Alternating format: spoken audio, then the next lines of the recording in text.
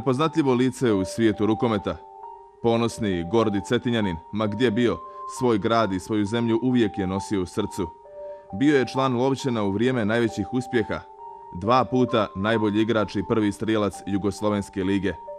Prvi igrač u istoriji koji je iz Crnogorskog kluba pozvan u A tim Jugoslavije. Učesnik tri svjetska i dva evropska šampionata. Osvajač bronze na svjetskom prvenstvu 2001. godine. Četvrti na olimpijskim igrama u Sidneju.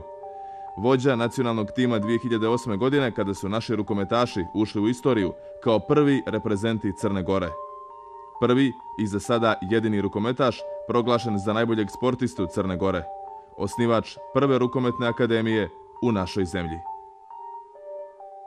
Ja sam rođen u Cetinju, znači 5. novembra 1976. godine. Vrlo rano sam počeo da se bavim sportom uz, u stariju braću koja su se bavila košarkom, tako da je, da je to nama i, i u tradiciji bavljenje sportom. Rukometom sam se počeo baviti na nagovor mog drugara iz rane mladosti, Branka Markuša. Sreli smo se Sreli smo se poslije jednog treninga košarke, nama je bila pauza, ja sam trenirao košarku nekoliko godina i on kaže, nisu imali, znači to je bio prazan hod što se tiče bavljena sportom. Mi smo trenirali svi po nekoliko sportova u to vrijeme, tako da sam ja pošao na, na rukomet sa njim. Međutim, poslije trening dva, trener je već bio oduševljen sa mnom, tako da sam poslije desetak, 15 dana već prekomandovan u prvi tim. Loćen je tada bio u drugoj ligi. Druga liga, znači ona je stara Jugoslavija. Tako da sam ja relativno brzo ušao u sve selekcije lovćene i prošao ih kao znači dječak od e, 13-14 godina, već sam bio u prvom timu. Sa, e, moja prva ta zvanična utakmica za, za Lovćen, za rukometni klub Lovćen, i početak te neke moje profesionalne karijere bilo utakmica, sjećam se dobro, u, to je bila duga liga stare Jugoslavije, počeo je rat u Bosni, to je bilo 1991. godine. Mislim da je bilo onaj incident sa, na, na Baščarši, mi smo odmah 7-8 dana poslije toga gostovali. Tamo sjećam se dobro, to je bila Bosna visoko, to je visoko pored Sarajeva. Oni su bili jedna renomirana ekipa u, u, u tom momentu i išli su na ulazak u, u prvu ligu, onaj stari Jugoslavije. Znate sad, znači pričavamo o ligi koja je u tom momentu bila e, jedna od najjačih u Evropi. To mi je bilo prvo, pr, prva utakmica znači, u, u profesionalnoj karijeri za Lovće. To je za mene bio jedan doživljaj sigurno od velikog značaja. Prvenstveno to je bila prva ekipa koja je u to vrijeme dominirala na ovim prostorima, znači ulazila u prvu ligu, a osjećaju u samoj dvorani 5000 ljudi, zastave, navijanje, spominjanje, džeste, cetinjani, arkani, to sve ih je povezivalo i sve, sve ih je posjećalo na to. Mi smo to pregurali, normalno izgubili smo takvicu. Kada je pitanje, dakle, Cetinje i grad, prosto e, odrastanje ovdje, društvo, škola, da. jednostavno te igre ovdje, e, prva, prvi neki, jeli, pre neke dječje radosti i slično. Dakle, šta ne možeš reći o tome? A ja sam cijelog života ponosan bio jer sam cetinjan, jer sam rođen ovdje.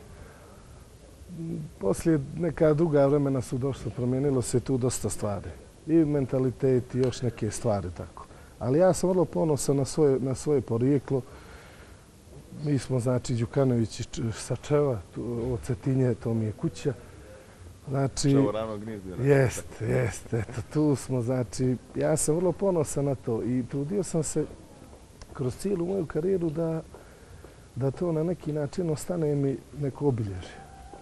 Da se, da se uvijek uh, vraćam onome odakle sam i, i, i gdje sam i gdje sam se rodio. Jer ovo je moja stvarnost. Znači, Cetinje, moji početci, školovanje, osnovna škola, znači u Lovićinski partizanski odred, srednja škola tehnička, to sam isto u Cetinju završio. Kasnije sam trenersko to znanje sticao, to sam završio, smo dosta vezani bili za, za Beograd, Gori Novi Sad, to sam gore ovaj, riješio. Tako da, ali opet te najveće, najdublje emocije me vežu prema Cetinju. Koliko pretrčanih e, kilometara, samo kad se sjetim sad ovih ulici manastira i i Vladičine bašte, koliko druženja, koliko hiljadu nekih stvari iz privatnog života ima, tako da i ono je vrijeme bilo vrlo negativno i, i, i, i ovaj, nije nam išlo na ruku tada bio je rat, sankcije 90. te godine. Evo sad kada vam nabrajam, to ja sam praktično 91. počeo odmah da ušao sam u tu, tako reći, mašinu sportsku. Tako da sam, eto, ja imao tu, tu šansu i privilegiju da prođem sve, da proputujem. Kada možda dosta mojih vršnjaka nije, nije imalo šansu, nije, nije se pružala prilika što zbog rata, sankcija, što zbog takve krize i situaciju koja je bila tada zemlja. Tako da sam ja ovaj, maksimalno to koristio na pravi način i da prezentujem i Cetinje i, i Crnu Goru. Mislim da, da, da kroz ovaj kroz tu mladost moju da, da imamo hiljadu stvari koje bi mogli da spomenemo i, i, i ovaj, ali to su neka sjećanja i emocije koje ne blijede. To ću sigurno ovaj, pretočiti najvjerojatnije vrlo brzo u jednu knjigu, tako da eto, lijepo je da nešto stavite kad imate tako dosta uspomena, jer stvarno ih jako ih ko ima, imam ja. Kad pričamo o ovom gradu, kako biste ga opisali dakle, ljudima koji žele da, ovako ukratko, koji žele da upoznaju našu prijestolnicu i poznate po svom prepoznatljivom eh, humoru, eto, da li eh, možemo da čujemo sada eventualno neku anegdotu, neku od omiljenih cetinskih anegdota, odnosno priča? Pa ima tu anegdota, možemo i pogotovo, ajde, pa pogotovo nama se to dešavalo često u sportu, jer mi smo, na, naša su putovanja čuvena bila uvijek, mi smo i od aviona, voza, autobusa, mi smo prošli cijelu Evropu, Jugoslaviju, bivšu, tako da anegdota ima koliko god ćete, ali ne znam neku kulturnu da vam ispričam jer ih ima raznih, ima raznih, ali evo na primjer idem avionom, često se dešalo pa novi članovi kad dođu pa neko na, naiđe, naiđe stewardesa, naiđe stewardesa i normalno posluživa što ćete, onda se neko hvati za džep, ja ću da častim da nas, onda neko koji je prvi put, nećeš Boga mi nego ja, ovo plaća se da nas, i tako to su bile. Onda ima raznih, znači, anegdota. U trećoj godini ostao si bez oca, kako se to odrazilo na neki na neko tvoje e, odrastanje, na sve te e, godine, dakle koliko si osjećao e, to, vjerojatno da je, da je, da je falio sigurno? Pa ovaj, sigurno da, da, da morate osjećati posljedice malo sigurno nedostatak roditelja, sva pažnja je fokusirana na majku, ljubav sa majkom, majka prema vama. Ja sam, ja imam dva starija brata, tako da sve smo to porodično nadomjestili, taj nedostatak. Sigurno nije bilo lako, ali mi smo jedna, jedna porodica časna, poštena, tako da ni jednog momenta nismo ni, ni, ni došli u situaciju niti da ukaljamo ime koje je moj otac i napravio za života. On je čovjek bio koji je dosta putovao, koji je živio i u Sloveniji i u znači drugim zemljama radio je radio je kasnije kao jedan od inženjera u obodu, tako da sigurno ja se ponosim sa njim. Sigurno da je veliki nedostatak, pogotovo kroz tu moju karijeru, kad nemate s kim da podijelite, ne, ne sa kim, hvala Bogu, imate s kim, nego kada sigurno je taj nedostatak vidljiv u nekim momentima kada su samiti, kada razmišljate o tome, ali to je život, to, to nosi znači vrijeme, tako da se morate privikavati na, na, na sve sfere života, tako i to. Te nedostatke moramo da popunjavamo, mi smo to kroz jedan normalan zajednički život i kroz jednu ljubav porodičnu sve nadomjestili, tako da to nije sigurno uticalo kao što možda utiče negdje drugo kada hvali, e, fali vam znači nosio, no, nosioci oslonac porodice. Mi smo to sve ovaj, na jedan pravi način izgurali zajedno sa majkom, braćom. Tu je porodica šira, uža, tako da, ovaj, ali generalno smo sami, sve, znači u životu se ovaj, probijali i rešavali, tako da to mi je kasnije dalo i oslonac u životu da, da nikad ne zavisiš od drugoga. Moraš sam da se osloniš na sebe i sve u životu što sam radio, tako sam i radio. Znači, to mi je bila to mi je bio jedan motiv više da napredujem u životu i da napravim dobre i kvalitetne stvari.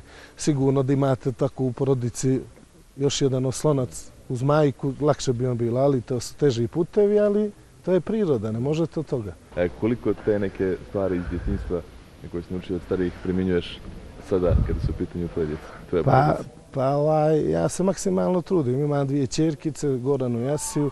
Ja se maksimalno trudim da, da se posvetim njima do, do granica nemogućeg. Znači, praktično cijel život moj i moje supruge je posvećen njima.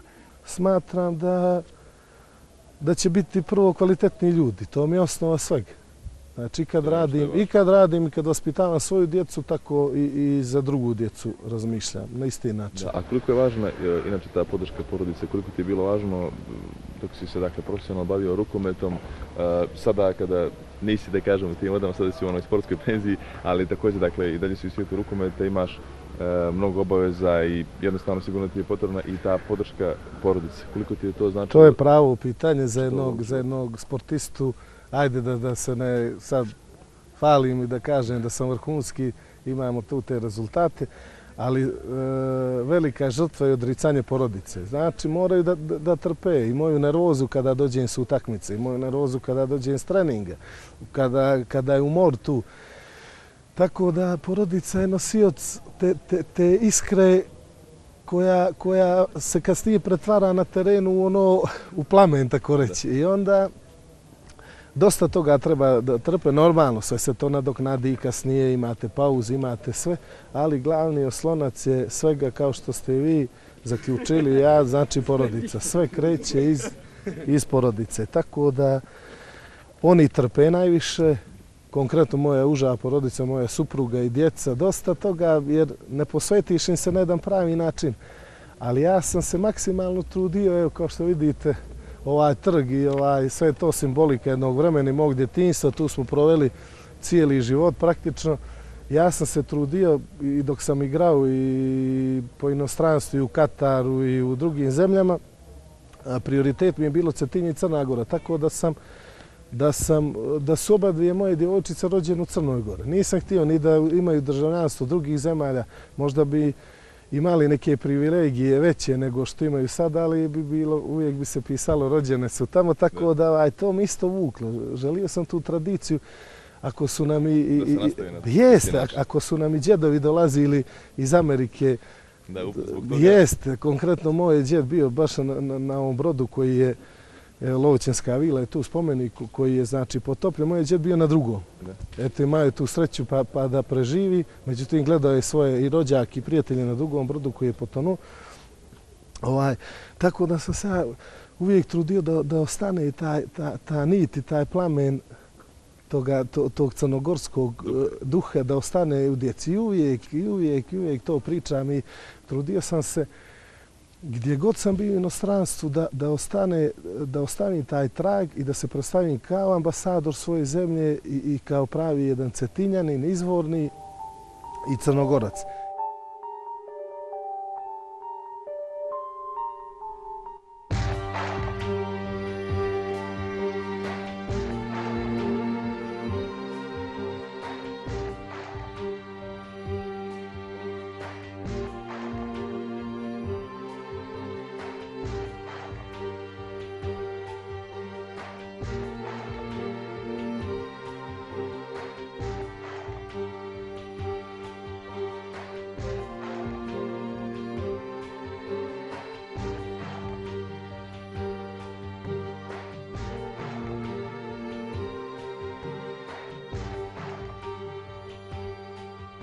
Mi smo se emotivno doživljali, ta naša generacija čuvena, emotivne su bile te utakmice. Sve to bilo na jednom emotivnom nivou.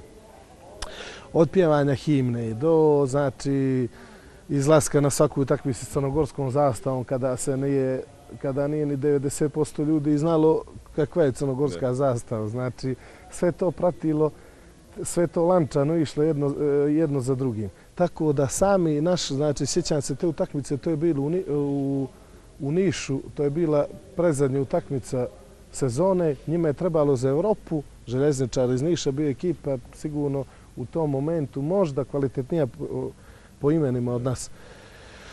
Pun je čajir bio u Nišu tada, to su bili, mi smo pošli nekoliko dana. Ja sjećam te utakmice, e, noć prije spavali smo u onom hotelu njihovom, Najse, ja mislim da se zove.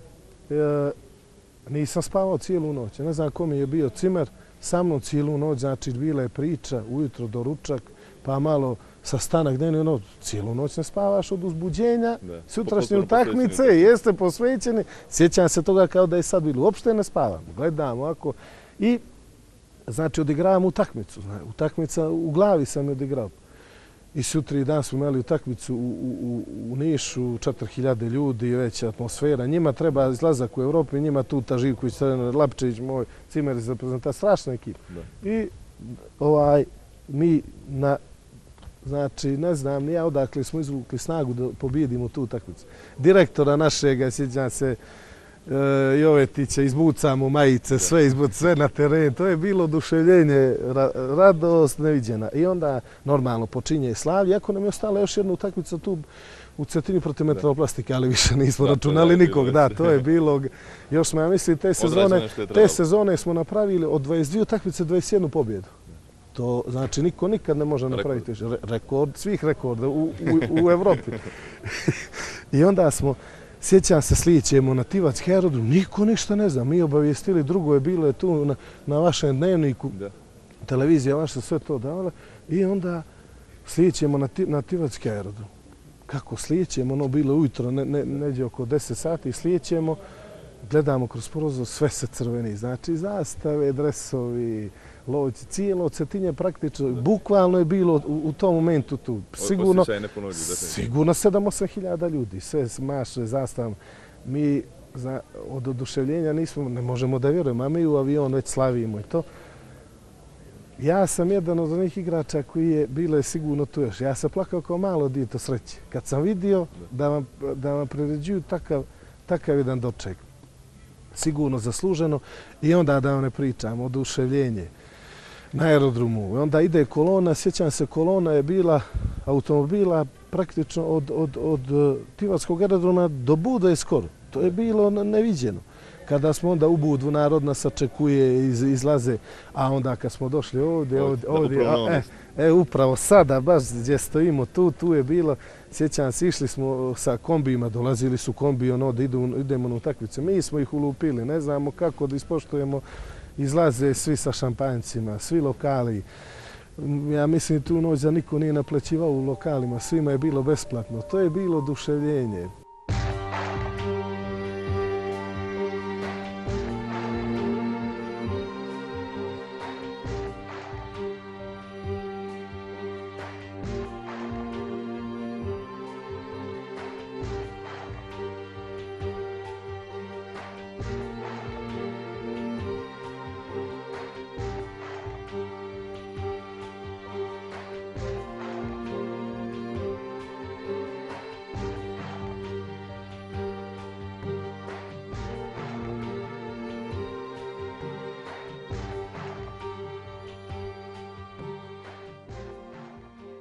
Sad samo da dakle, pomenemo igrače koji su e, bili dakle... E, A, to je bila čuvena generacija i super momci, sve znači to su ljudi koji su prvo bili kvalitetni kao ličnosti, kao osobe.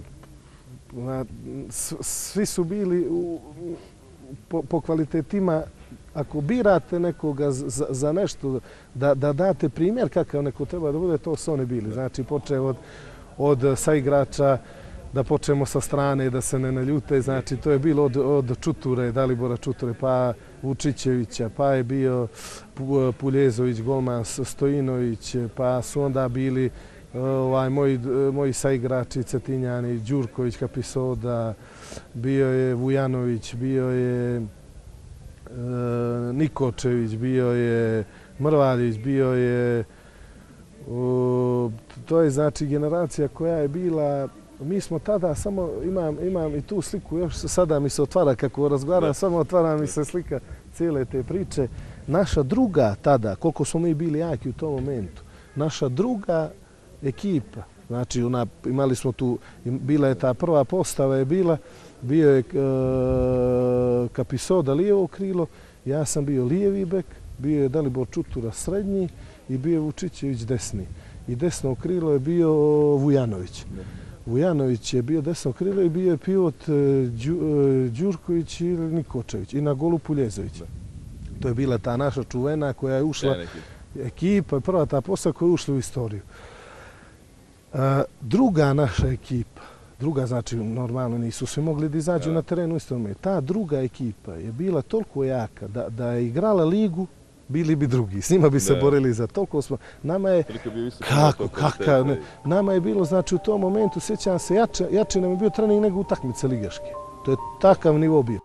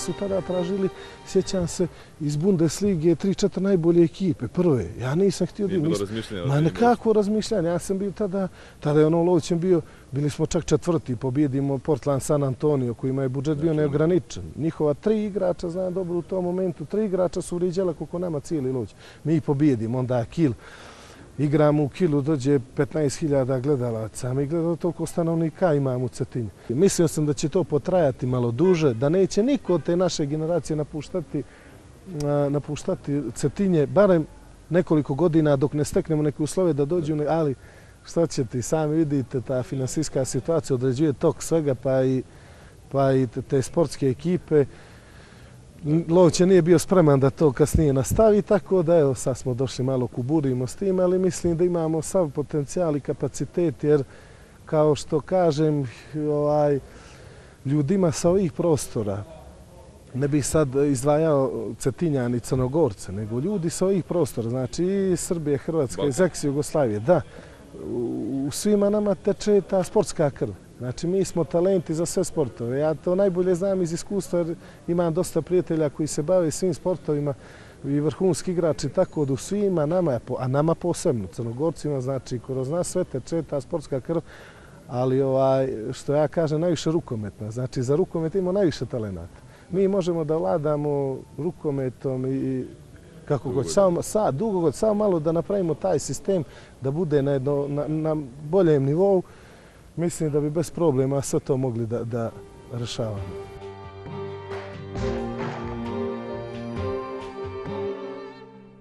Znači ovdje smo gore ispred ove sale, dakle sportski centar na Cetinju e, i eto, ima jedna interesantna stvar, jeste da ste dakle, vi bili prvi sportisti, prva ekipa za koju, za koju možemo reći da je onako prva dakle, ušla Pa, u ovu halu. Jeste, jeste, i to je dio istorije, znači ova dvorana, mi smo prvi praktično sportski kolektiv i, Da. i sportisti koji su ušli u nju. Ona nije, ja mislim, imala tada ni, ni upotrebnu dozvolu, nije otvorena bila. Mi smo, koliko se sjećam, otvorili ona vrata dolje, kao što ih vidite, i Da. ušli da treniramo. Jer kao što znate, tada se treniralo na otvorenom poligonu, igrao se rukomet napolje, mi smo i tada je Lovćen igrao u drugim gradovima Crne Gore. Mi smo otvorili ta vrata i to je zvanično početak početak e, Rada ove rada, dvorane, i dvorane i rukometnog kluba Lovćen i istorijskih utakmici događaja koji su se desili u ovoj dvorani. I milo mi je što sam ja jedan od tih učesnika, sigurno uz cijelu tu našu ekipu. Znači, od kada smo ušli kroz ta vrata, ostalo je bila istorija, tako reći. Onda su počeli da se ređe ulazak u prvu ligu, igrali smo onu drugu ligu, ulazak u prvu ligu, osvajanje titula Crne Gore, to i, ni sam više ne znam koliko smo ih tada osvojili, jer to nije malo nekih nije malo nekog velikog značaja na, na, u odnosu na, na, na Ligu Jugoslavije. Tako da imamo dosta tih kupova Crne Gore i Jugoslavije i onda kreće ovaj najbolji naši rezultati od 96. godine od dolaska e, bio je tu pokojni Bobo Bogdanović, e, znači kao što sam već spomenuo, jednom upravo stala Jovetić i gospodin Jovetić i Rašović, kreće ekspanzija, tako reći, rukometa u, u Cetinju, Upravo odavde. Ovaj, jes, upravo odavde, jeste i ovaj, kreću ti naši rezultati. Dolaskom dovode se renomirani treneri kao što je Pokrajac i da ih ne nabrajam, Vujović, to su sve imena koja su prepoznatljiva širom planete, ljudi koji su stavili traga na svakom kontinentu došli su tu. Tako da smo, svi su bili oduševljeni sa našim mentalitetom, našom harizmom, kvalitetom, karakterom. Tako da mi smo njima pomagali, oni nama i mislim da smo sazreli poslije godinu dvije da već igramo da već igramo Ligu šampiona, pošto smo već osvojili tada tu prvu istorijsku titulu 99-2000, to je prva u istoriji crnogorskog muškog rukometa u Jugoslaviji. Kad sljedeće godine smo osvojili još jednu, poslije toga dva kupa Jugoslavije, e, bila Jugoslavija, pa poslije toga Srbe i Crna Gora, tako da smo u jednom kratkom periodu napravili jedan enormni uspjeh za ovako mali gradić sa velikim srcem, a istorijska prestonica, tako u svakom smislu kulturna, tako da smo na pravi način prezentovali i grad i reprezentovali crnogorski rukomet. To vrijeme kakav je bio kvalitet kod nas i kako smo mi s kakvom željom i borbenošću igrali da se često dešavalo naprijed krenu ekipe iz Beograda, Partizan Zvijezda i redovno kada dođu do Cetinja, redovno prehlade po jedno 5-6 igrača, tako da ne mogu da igraju. To su znači neki detalji. Nije lako bilo igrati tada tu.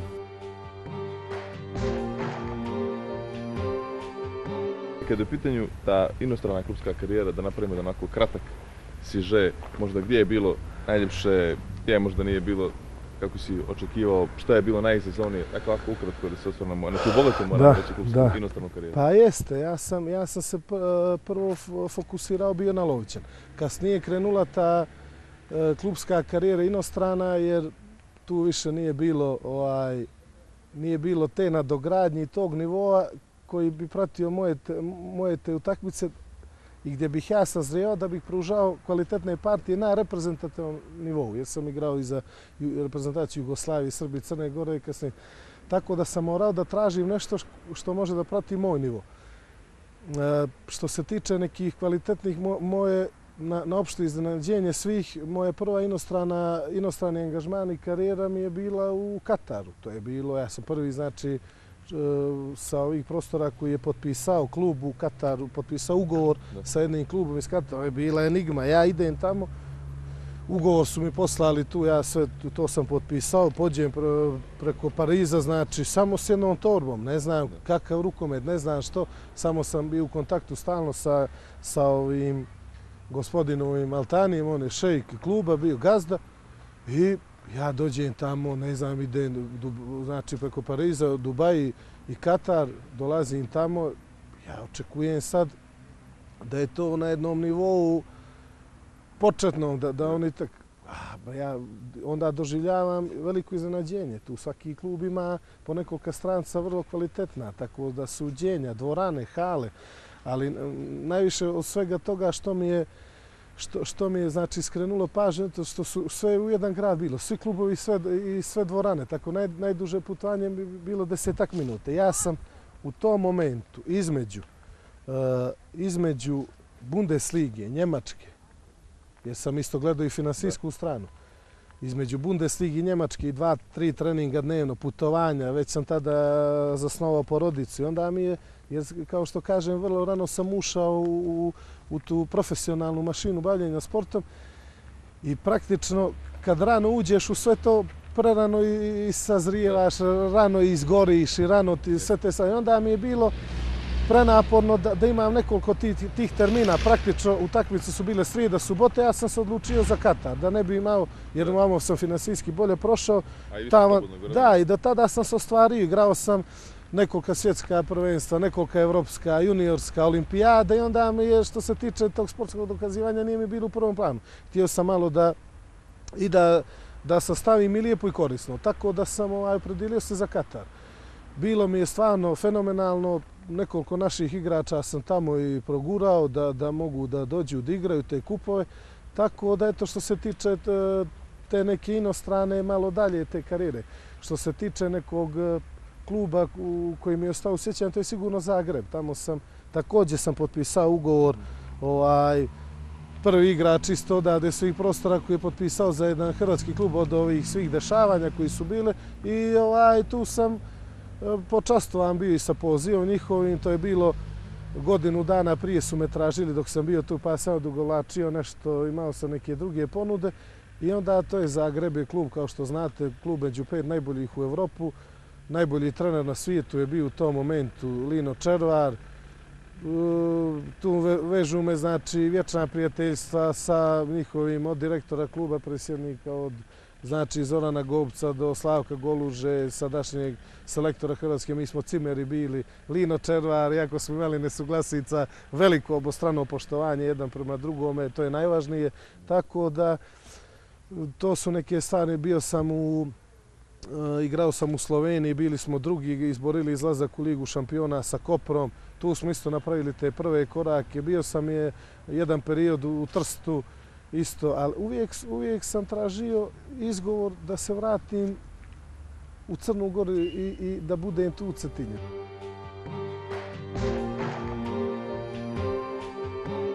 Sad se ovdje nalazimo dakle, ispred vrtića koji je išao prvo Goran Đukanović. Dakle, Jeste, jeste. uh, kako su neka sjećanja na taj period, ima dosta dogodoština. Evo da izdvijemo bar jednu. Pa evo vidite kako je, kako je kod nas sve malo, lijepo, kulturno. Evo vidite, tamo je taj stadion, tamo sam im pobeđivao, sjećam se na krosevima u školi, u osnovnoj školi kada su bili.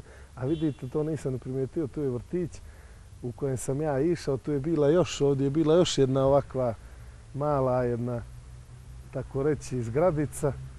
I ovaj, vjerojatno je umeđu vremenu i srušena.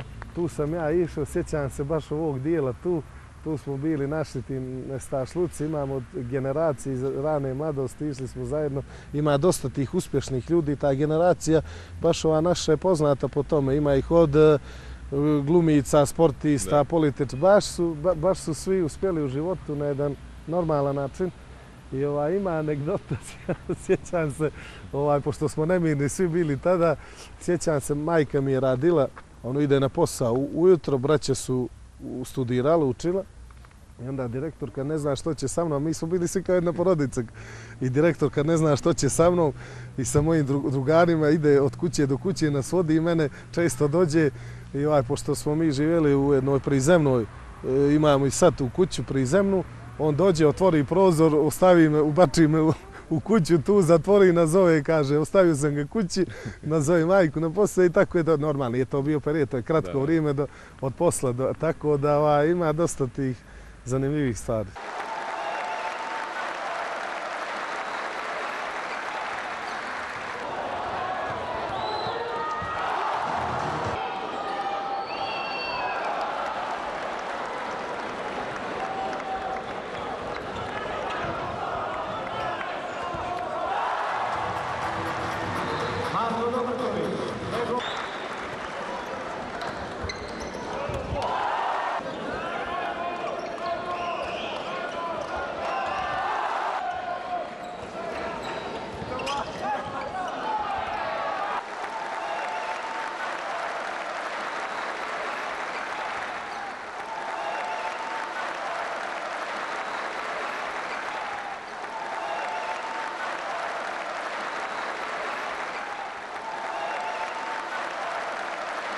Možda mi je najponosnija uloga kapitena koju sam imao tako kada smo osvojili prvu titulu sa Lovćenom i normalno sa reprezentacijom. Prvi kapiten. Prvi kapiten, prve, prve te crnogorske reprezentacije koja je izašla u, u, u, poslije nezavisnosti u bilo kojem sportu da. ekipnom na zvaničnom takmičenju. Tako da normalno olimpijskih sporta. Tako da sam i zbog toga to mi je bio to mi je bila i želja i eto znači ispunila se ne samo meni nego i svim mojim drugovima sa kojima sam igrao. Da zapjevamo tu himnu našu konačno jako sigurno mogu da spomenem i kada je bila Hej Sloveni nijednog momenta znači nije bilo tu ponižavanja ili ja sam to osjećao kao da je iako se možda osjećate možda drugačije jer onaj čovjek u susjednoj državi ne poštuje to zajednički. Ja sam međutim poštovao cijelo vrijeme kao što sada poštujem našu, očekujem da svako poštuje svoje. E, kada već ta priča o reprezentaciji, dobro su poznati ovi rezultati, dakle, sadašnji, jednostavno, naši najbolji rukometaši polako postaju miljenici nacije. E, konačno smo, dakle, dočekali to da prosto muški rukome bude na visokom nivou kao i ženski. E, kak, kakvi su neki sada e, utisci, kakve su impresije nakon ovih uspjeha kada sada pogledate iz vašeg ugla? Pa, da, znate kako, za mene ovo nije iznenađenje nikako, jer znajući, ja sam uvijek potencirao da Crna Gora ima kvalitet i da mora da učestvuje na svakom velikom takmičenju, muška. Znači, mi imamo kvalitet za učešće na svim takmičenjima, evropskom i svjetskom prvenstvu. Sad, mislim da imamo čak šansu da se kvalifikujemo treba sad početi da razmišljamo o tome da se kvalifikujemo, eh, da, izbo, da izborimo eh, kvalifikacije za olimpijske igre. Mislim da imamo, da je sazrela svijest i da imamo kvalitet. Druge reprezentacije su pomladile svoje ekipe dosta. Znači, dosta puta. Od kada sam ja predstavao sa reprezentacijom, ja mislim sad i Njemačka da je nekoliko put napravila tu smenu generaciji. Tako da sad imamo šansu da iskoristimo sve to i da valorizujemo da i da valorizujemo na pravi način. Mi smo jedna grupa koja se koja nije imala nekih promjena, par igrača tu, ali jedan igrač dva ništa ne znači za jednu reprezentaciju ako je ozbiljna. Tako da, da mislim i smatram da bi to trebalo sad maksimalno iskoristiti. Znači, mi smo prvi sport koji je izašao na jedno zvanično takvičenje, naša reprezentacija Mučka, to je bilo 2008. u Noroškoj, da, Mi smo prvi sport koji je izašao na jednom zvaničnom takmičenju velikom i predstavio državu Crnogoru i prvi sport koji je osvojio medalju na, na olimpijskim igrama. Jeste, znači, pratimo taj trend koji je bio u staroj Jugoslaviji. A znate, lako je možda Hrvatskoj pratiti ili Srbiji taj trend ili Sloveniji, jer ih je više brojčano, ali mi sa ovako malim brojem stanovnika, sa bazom jednom možda malom, ali mi ne trebamo da, da, da, da kažemo da nas je malo. Mi imamo malu bazu, ali vrlo kvalitetnu. Samo treba izvući isto. Tako da mislim da mi nasljeđujemo tu priču da budemo jedan od najtrofejnijih sportova. E sad, nakon e, cijele te priče dolazimo do e, funkcije poslanika. E, dakle, u našoj skupštini, e sad, tu je već postavljen, ako možemo da kažemo, jedan e, rekord. I dalje u vašem vlasništvu koji? Pa jeste, ja sam ovaj bio poslanik u 2001. u, u Republičkom sa, sazivu, tada poslaničkom Skupštine Crne Gore. Ja sam eto bio e, najmlađi, i još sam u najmlađi poslanik Crne Gore u istoriji parlamentarizma. Tako da ovaj, to je neki rekord koji prati sve ove rekorde druge, ali eto, nemamo mi ništa toga, samo imamo eto te rekorde koji će ostati zabilježeni. Sigurno da, da mi je bila čast da budem poslanik, iako svi kažu neko bježi od bavljenja politikom i tako tim stvarima, ja mislim da je privilegija predstavljati ljude koji ti daju glas i koji se predijele za tebe da ih predstavljaš, da ih predstavljaš u parlamentu. Ja sam dao tu taj moj skromni doprinos, vi znate sami, tada smo i kao lovćeni reprezentacije i ja lično. Bila je ta harizma, vladali smo Jugoslavijom kao, kao sportisti i Evropom i svijetom igrali od tih evropskih svjetskih prvenstva olimpijada, tako da u pravom momentu smo prezentovali crnogorski sport eh, na, na jedan pravi način i ja sam tu našao to svoje mjesto kao, kao poslanik. Toliko kada pitanje politika, je sad kratko da pomenemo i vašu akademiju, Hukmetna akademija Đukanović, koja okuplja eh, sve one klince željne, željne prije svega, dakle, sporta, rukometa, druženja, svega onog pozitivnog što nosi sa taj svijet? Pa jeste, ja sam ovaj akademiju pokrenuo, ta ideja nije od juče, ta ideja je zadnjih deseta godina, ali ja nisam imao vremena da se posvetim tome kao što ste sami nabrojali, hiljadu je tu bilo nekih priča od politike do svega tako da nisam imao vremena da, da uđem u, u, u, u taj angažman u tom momentu. Sada sam konačno pronašao vremena i tajming za za bavljenje tim, imam veoma veliko iskustvo, veliki broj prijatelja u inostranstvu, znači i preko okeane, od Australije, Amerike, Afrike, Tunis, znači Egipat, sve znači, imamo dosta ponuda i za saradnju sportsku i sve i onda sam odlučio da to valorizujem. Htio sam to da, da, da sve pokrenem dok sam ovaj, bio u Savezu, bio sam jedno vrijeme potpredsjednik tamo, ali ljudi to misle da to ovaj, ne odgovara za neke stvari i onda sam pokrenuo to znači u privatnoj režiji. Tako mislim da i najbolje i ovaj imamo, mogu vam slobodno sada reći, talenata za koje su se oduševili čak i na ovim mojim prijateljskim ovaj, saradnicima koji imaju akademiju u okruženju, da im ne spominjem sad imena, da imamo sada avanserijske talente koji treniraju možda po, po dva, tri mjeseca ili po pola godine. Sad, šta vam je rukomet donio? Kada sad pogledate iza sebe cijelu tu priču, šta vam je donio, šta vam je oduzeo? Onako, pa rukomet mi, je, rukomet mi je donio sigurno dosta. Donio mi je dosta druženja, dosta putovanja, dosta znači i, i, i, ovaj, i, i nekih tužnih situacija kada smo gubili, kada smo bili poraženi zbog jednog gola, zbog dva, pa kad imate na primjer šansu na olimpijskim igrama dva put za medalju, mi završimo četvrti u Sidneju, ekipa koja je bila možda najbolja tada, svjetska ekipa. Ja sam ponosan što sam bio član te ekipe, Veselin Ujević je bio selektor, to je bila e, uh, 2000, tako da Znači, od te stvari koje, znači, kojih se sjećate cijeli život, do stvari koje su, koje, vam, koje vas ispunjavaju, znači, ne, ne stavljamo sad akcenat na tu finansijsku stvar, to je prirodno, to mora da prati sve ovo.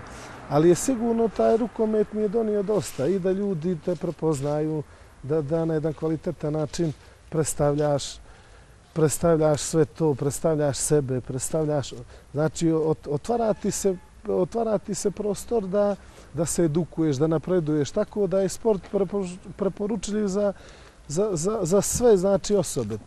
I mislim da kroz ono što je meni donio da sigurno ja vidim tu put i ovoj djeci koju ja treniram i koja se bave sportom, bilo kojim sportom, ne samo rukometom, samo da će im doneti privilegiju. I koja je vaša ideja vodilja kroz život i ono što savjetujete e, svima onima koji žele da uplove u rukometne i sportske vode generalno? Pa znate li kako, moja i moje porodice, zvijezda vodilja i, i svih, mislim, pravih i kvalitetnih ljudi je taj častan i pošten život. Znači, i, i da se posvetite svemu što radite ča, častno i pošteno. Da nikoga ne uvrijetite, da ne, da ne napravite neko zlo, normalno, ne možete ni, ni, ni vi da puštite da neko bilo što prema vama ispoljava. Tu, tu smo po, također svih prostora malo, malo ovaj, za te stvari isto ljudi spremni, ali sam uglavnom se trudio da i kad je bilo neki stvari da se povlači. Nekad si imao prilika da se povlačiš, nekad ne. I mislim da samo treba živjeti časno i pošteno. Mislim da Bog sve vidi, nagradi svaki dobar potez, svaki, svaki kvalitetan učinjen gest prema nekome, bilo koje vrste pomoći. Tako da mislim, ako živite pravo i i bavite se svim tim kako treba pravo, mislim da će vam se sve to vratiti.